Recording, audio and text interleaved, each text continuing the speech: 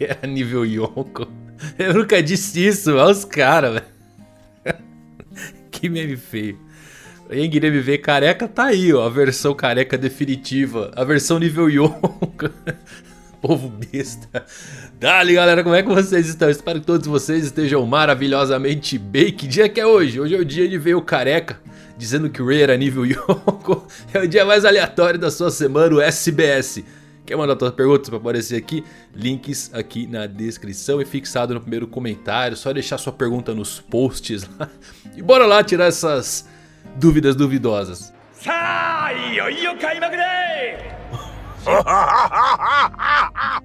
Bora lá, o Hawks começou falando o seguinte Seria possível Katakuri ou do Flamengo destruírem a Red Line Transformando ela em Mochi ou Fios? Lá vi vocês querendo destruir o indestrutível. Se fala que é indestrutível não dá pra destruir.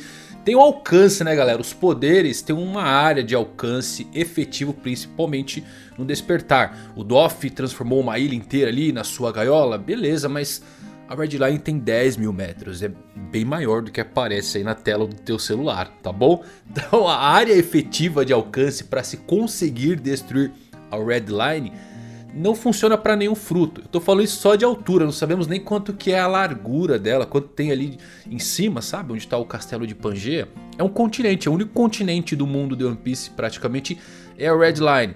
Se é indestrutível, então que fique assim, continue indestrutível até chegar Pluton, até chegar o Luffy, dar uma cabeçada ali. Daqui a pouco eu vou falar que o Luffy despertou, o antigo usuário da Gomu despertou a borracha, esticou a Redline. E é por isso que a Gomu é tão importante, né? Mas é isso, mas por enquanto não dá pra destruir não. Logo logo o Luffy vai e desfaz isso aí com o seu despertar. O Henrique Miguel mandou uma de Boku no Hero, como eu fiz um vídeo de Boku no Hero ontem, eu vou aproveitar para responder. Uh, aquelas balas que apagam Creek, seria possível apagar o One for All e o que aconteceria com os antecessores e claro, se fosse acertado no All for One, ele perderia apenas a Quirk que ele estaria utilizando ou perderia todas. Eu creio que perderia tudo porque essa bala literalmente danifica o fator Quirk da pessoa, o mecanismo biológico por trás do funcionamento dos poderes. Mas nada impede que funcionasse, eles não são imunes. Aliás, aqui na pergunta do Miguel sempre tem a galera que gosta de responder as perguntas de vocês, né? O pessoal tá perguntando o que tem a ver com One Piece. O SBS não é sobre One Piece. Eu respondo mais perguntas de One Piece porque é o que tem aqui. Você pode mandar sobre qualquer série, qualquer anime, qualquer coisa, ok? Como eu pego aleatório, geralmente cai mais nas perguntas de One Piece. Mas se eu achar de outra série, estou sempre respondendo. Não se preocupem, mandem do que vocês quiserem. Tama perguntou o seguinte, se Kanjuro era um traidor esse tempo todo... Então por que ele foi perseguido por Orochi e chorou tanto na morte de Oden quanto na destruição de Zou? Era uma encenação? Sim, você mesmo respondeu a sua pergunta. Era uma encenação, mas ele não se importava com o que aconteceria. Ele estava vivendo o seu papel até achar um lugar para sua morte.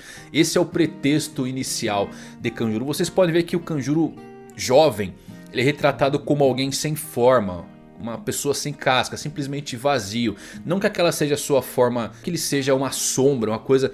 O Oda quis representar que naquele momento ele era uma criança vazia. Sem ter para onde ir, sem ter o que fazer, apenas agarrado àquele sentimento antigo de ser um ator. Afinal seus pais foram assassinados em cima do palco. E por isso ele viveu esse papel intensamente. Ele foi o maior, maior ator dos atos de toda a Wano. Ele não se importava em morrer em qualquer ponto, apenas seguiria seu papel fielmente, afinal era isso que ele era, um ator. Wagner Santos Luiz perguntou o seguinte, além de Luffy e Roger, quais personagens você acredita que tem carisma e background para protagonizar uma história completa? Me vem na cabeça na hora Oden, eu sempre falei isso nos reviews, que ele poderia ter uma série shonen somente dele, é um personagem que eu gostaria muito de ver. Outro personagem que merecia talvez uma história completa seria Garp e Sengoku. E a Tsuru também, o trio monstro da marinha. Seria incrível o Oda desenvolver. Nem que ele passe para outra pessoa para fazer novels. Ou que faça um one shot contando a história de fundo desses personagens. Mas seria muito legal. Também podemos ir aí no, na linha de Roger e Ray jovens. Começando a jornada de navegação deles. Porque eu creio que não vai ser mostrada na série de One Piece esse desenvolvimento. Vai mostrar mais do Roger ainda. Sim, Com certeza, principalmente porque ele foi atrás da Roji, essa coisa do Ace, tem mais mistérios do Roger a serem mostrados. Não acabou a história dele ainda, mas essa parte do passado, quando ele era é, um novato, daria uma ótima história de fundo. Seria incrível, fantástico. Como é que ele se tornou o grande pirata, que era a alcunha do Roger antes dele se tornar o rei dos piratas. Ele foi nomeado assim, né? Roger, o grande pirata. Acho que essa, essa seria... Não poderia faltar assim se eu tivesse que escolher esses personagens. Pedro Henrique perguntou se eu acho que o Kizaru está no mesmo nível que o Akainu e o Aokiji. Sim, ele tinha tudo para ser o mais forte, convenhamos, porque a fruta dele é a mais roubada de One Piece, se você for analisar. A luz, cara, se move na velocidade da luz, mas o Oda é muito inteligente e colocou uns nerfs bem legais nesse fruto. Sempre repito para vocês, ele se move na velocidade da luz em linha reta. Não pode lutar nem atacar durante os movimentos da velocidade da luz. Ele apenas se move, se materializa e ataca. Né? E é o que acontece com a maioria das logias. Para atacar tem que se materializar, não pode ficar naquele estado intangível deles. Caso de Haki, a mesma coisa. E ele colocou essa personalidade do, do Kizaru combinando, porque ele tem a fruta mais rápida de One Piece, convenhamos, né? Velocidade da luz. Só que ele tem esse jeitão extremamente lento. é um personagem muito bem criado por Eiichiro Oda. Ele está no mesmo nível que o Akainu e o Aokiji? Com toda certeza. Ele é muito forte. Apesar do filme Z não ser de todo canônico, o Almirante Z disse que o Kizaru era muito confiante na sua fruta, não desenvolveu outros atributos. E faz total sentido, como eu já disse, afinal o cara pode criar um sol praticamente. É muito forte o poder dele, mas sim, está no mesmo nível que eles. Eu creio que todos os almirantes são nivelados, é como os Yonkos, quem é o mais forte dos Yonkos? Ninguém, se tivesse o mais forte tinha derrotado os outros já. então esse equilíbrio também acontece dentro da marinha. Mas aí o Oda ele vai jogando aqui ali. O Akainu mesmo foi, é um dos poucos casos raríssimos em que o Oda fala realmente sobre nível de poder. O Oda não comenta, isso é coisa de, da mente dos fãs, né? Nível de poder, nível Yonko. Mas foi um dos raríssimos casos em que o Oda deu uma, uma brida a mais assim que ele falou que o Akainu tinha a fruta mais ofensiva. Não confundam com a fruta mais forte, mais poderosa. A fruta mais ofensiva, aquela que pode causar mais danos. E que ele poderia achar o One Piece em um ano por conta desta fruta dele. Raríssimo caso que o Oda falou alguma coisa realmente de Akuma no Mi poderosa ou não. Mas sim, estão nivelados. Tanto que a luta do Okiji Akainu durou 10 dias e não sabemos nem mesmo se teve um vencedor literal eles chegaram num acordo e o Aokiji falou, tô caindo fora, chega, continua aí. O Alan perguntou o seguinte, e se os 5 anos que o Oda disse que terminariam One Piece poderiam ser na verdade 5 anos dentro do mundo de One Piece? Quer dizer que vai ter mais um time skip? oh, se o Luffy tá viajando há quanto tempo aí? 3 anos, vai fazer 4 anos, a gente tá há 20 e tantos anos. Imagina 5 anos dentro do mundo de One Piece, vai dar mais de 100 anos, que conta doida essa aí. Mas esses 5 anos do Oda era 2019. Aí foi 2020, One Piece vai terminar em 5 anos. Veio 2021, One Piece vai terminar em 5 anos. Que continue assim, que a cada ano novo que One Piece termine em 5 anos. Não termina nunca, né? Espero que continue assim, que vá... Eu acho que vai até 2027, tá bom? Que é quando a série completa 30 anos. Duvido que o Oda não estique a sua série para ela completar 30 anos de jornada, né? Cura-pica das ideias bugadas. Que nome fantástico. Em quem eu apostaria, Hisoka ou Kurapika? Eu iria de Hisoka, que é muito forte.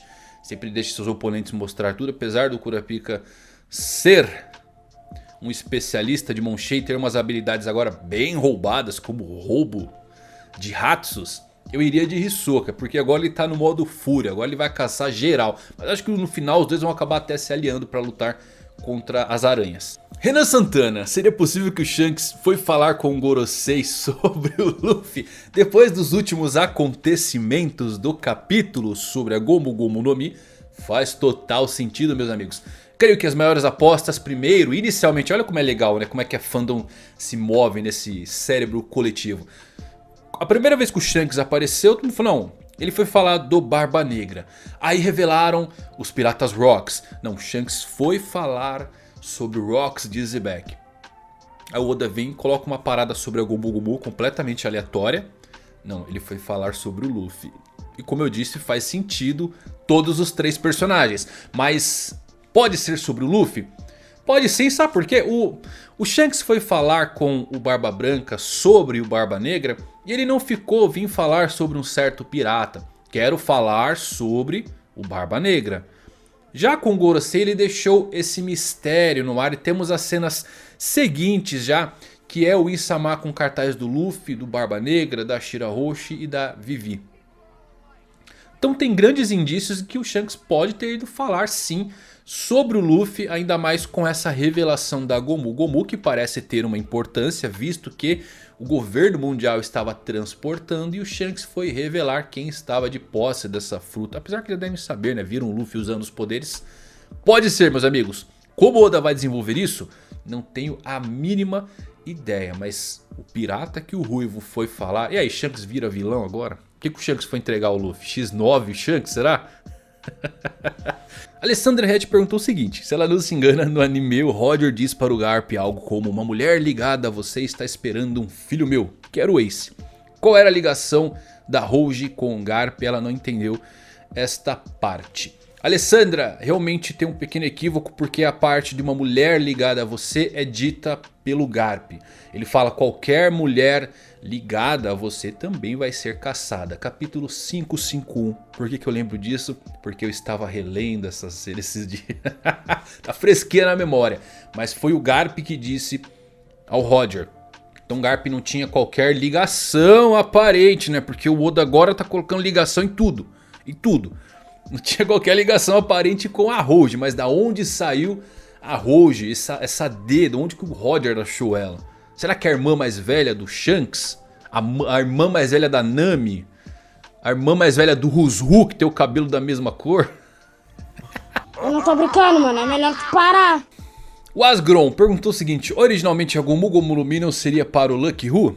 E o Luffy comeu por acidente? Sim, até onde sabemos a informação que consta é essa e por esse grande motivo que eu fiquei confuso. Sou sincero para vocês de que li diversas teorias, as pessoas mandaram diversas explicações que elas tentaram criar sobre isso, nenhuma me agradou. Talvez muito por conta de eu não querer realmente que a fruta tenha algo especial e eu acabo criando esta frustração quando eu leio as explicações. Pode ser qualquer coisa, tá bom galera? Pode ser que a fruta tenha um poder com seu despertar, a borracha apagou o século perdido, pertenceu a algum pirata notório, iria ter feito experimentos, ia desenlaçar a Red Line, pode ser qualquer coisa. Mas eu como tava nessa coisa de, puta, eu não queria que a fruta... Eu concordo com você que essa parte é muito confusa, porque quem achou foi o Lucky Who, então seria uma fruta dele, Inicialmente seria uma fruta dele que ele talvez consumiria ou talvez venderia. Porque essa informação de que foi o Lucky Who que encontrou a fruta foi simplesmente para nos confundir ou simplesmente falar, não, foi ele que achou. Peguem a exemplo no navio do Barba Branca. Eu sei que cada tripulação tem o seu jeito diferente de dividir as coisas. No Roger, quando acharam a Barabara no Mi, eles iriam vender. Não foi falado do pirata que achou a Barabara no Mi. O Bug foi lá, roubou para ele, afinal ele é um pirata comeu a fruta, deixou uma fossa. Você pega no navio do Barba Branca, o Sati achou a Yami Yami no Mi e a fruta era dele, porque foi ele que encontrou. No navio do Shanks é citado que Lucky Who achou a Gomu Gomu no Mi simplesmente para parecer que não vale de nada. Porque o Shanks tem muito mais importância ligada à fruta. Foi citado ele como atacando o navio do governo mundial e não necessariamente os piratas do Shanks ou Lucky Who especificamente. É muito confuso, não sei para onde Oda vai. Como eu disse, ele pode ir para qualquer coisa. Pode ser uma coisa grandiosa, como pode ser nada. O Carlos Souza perguntou como eu acho que aquele cara que pergunta para o Roger sobre o One Piece durante a execução sabia do tesouro One Piece. Carlos, eu vou desmitificar uma coisa. Todo mundo aqui já recebeu aquele meme esse cara que iniciou a era dos piratas, ou esse cara, o que aconteceria se ele não tivesse perguntado para o tesouro, para o Roger sobre o tesouro. Já receberam esse mesmo. O cara fala até que parece eu. Parece um mendigo, cara. Esse cara não existe. Só existe no anime. Leiam o capítulo 1, já começa com o Roger proferindo as palavras. Então esse personagem foi inserido ali para o anime dar um contexto. mais poético talvez para a cena. Mas no mangá ele não existe. Já inicia realmente com o narrador falando sobre o Roger e o Roger dizendo aquelas icônicas palavras: Meus tesouros e riquezas deixei tudo naquele lugar. Não existe uma pena, mas é isso. O G da Mateus perguntou o seguinte. Roger disse, deixei tudo naquele lugar. Você considera que seria uma mistura de algo físico? Tesouros e informações? Como verdades não reveladas? É uma pergunta muito legal. Pergunta realmente muito legal. Porque, olha só. O tesouro One Piece sabemos que é um tesouro de Joy Boy. Só que sabemos também que o Roger, são todos os tesouros do Roger, foram nomeados como One Piece pelas pessoas. Não necessariamente o Roger deu esse nome ou descobriu que esse era o nome real quando chegou na última ilha. Informações, vai ter informações? O One Piece pode ser um único poneglyph contando a história, a verdade do mundo? Não. Isso é o Rio Poneglyph, é o que a Robin busca. E que vai estar junto e pode fazer parte do grande tesouro One Piece. Mas é algo a mais. Vai ter tesouros, joias, ouro para Nami nadar igual tio Patinhas? Com toda certeza, vai ter muitos tesouros lá. Tesouros para todos, uma espada para o Zoro, um livro para o Sandy ali de receita. vai ter muita coisa, grandes tesouros. Então sim, vai ter verdades não reveladas, tesouros físicos, poneglyphs. Mas sabe o que eu acho que vai ter lá também? Eu sou sincero, eu gostaria que isso acontecesse muito e eu sei que vocês vão querer que aconteça também.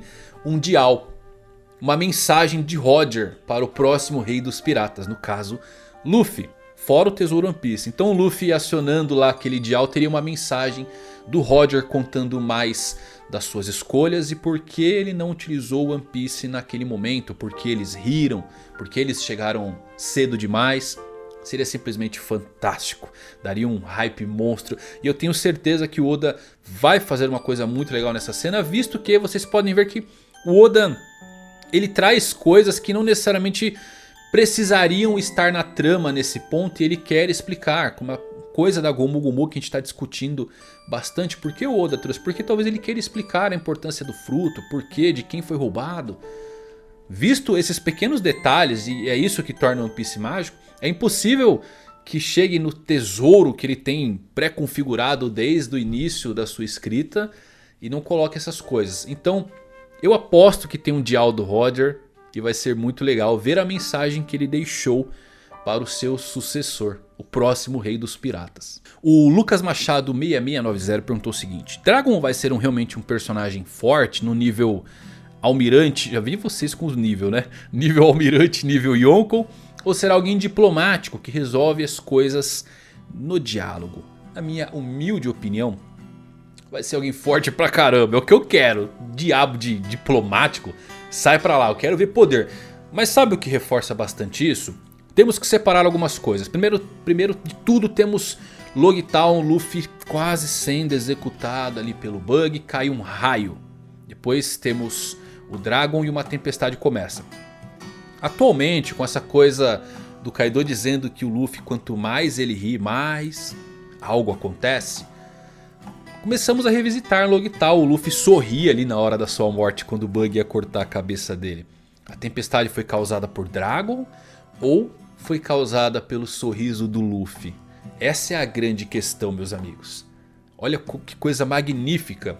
Todo mundo ali fala, não, é o Dragon, foi o Dragon que causou aquele raio, aquela tempestade. Seu Haki, uma fruta. Mas agora com essa coisa do Luffy, né? Se voltarmos na cena, o Luffy tá com um belíssimo de um sorriso ali na hora que o Bug vai decapitar. Será que não foi o Luffy? Eu acho que foi o Dragon também. O raio pode ter sido o Luffy, vai, vamos colocar assim. Mas a ventania foi o Dragon porque em diversas outras passagens... O Dragon sempre que ele aparece tem um vento rolando. Chegou lá um jornalzinho com a recompensa do Luffy, ele fala, vou tomar um ar. Na hora que ele sai, ventania começa. O próprio navio dele tem o nome de Vento Marinho. Porra, que é uma, que é uma revelação maior que essa. Ele com certeza deve ter uma fruta, uma Akuma no Mi. Eu aposto em qual? É do Thunderbird? É é Uranus? Não, eu aposto na mais lógica que é a Logia do Vento. Que seria uma fruta poderosa, ainda não apareceu. E tudo indica para ser isso. Visto né, o seu navio, o Vento Marinho, onde o cara parece ter uma brisa rolando. Não consigo ver o Dragon, ligações com Garp, pai do Luffy, não sendo um lutador. deve ser forte pra caramba. Nível Almirante Yonko, com toda certeza. Ele é uma força à parte do mundo de One Piece. Porque ele não está no equilíbrio do mundo ali entre Chichibukais, que agora caíram, e a SSG, Governo Mundial, no caso a Marinha, e Yonkos, porque o foco deles sempre foram derrubar o governo mundial. Eles não são piratas, eles não se importam com os Yonkos, pelo menos por enquanto. Obviamente as informações sim, porque, olha que coisa legal, 12 anos a 11 anos atrás, se não me falha a memória, eles começaram a procurar por Nico Robin. Então os revolucionários estavam atrás da Robin nesse mesmo período ali da Gomu Gomu, quando o Shanks atacou o navio. Mera coincidência ou não? Eis a questão. Muita coisa, você podia ficar aqui uma hora falando disso, tá bom galera? Mas o vídeo ficou grande. Eu espero que vocês tenham gostado, se divertido, ficado confusos. Afinal, é para isso que estamos aqui. Manda suas perguntas aí para aparecerem nos vídeos. Até os próximos. Valeu por assistirem. Fui.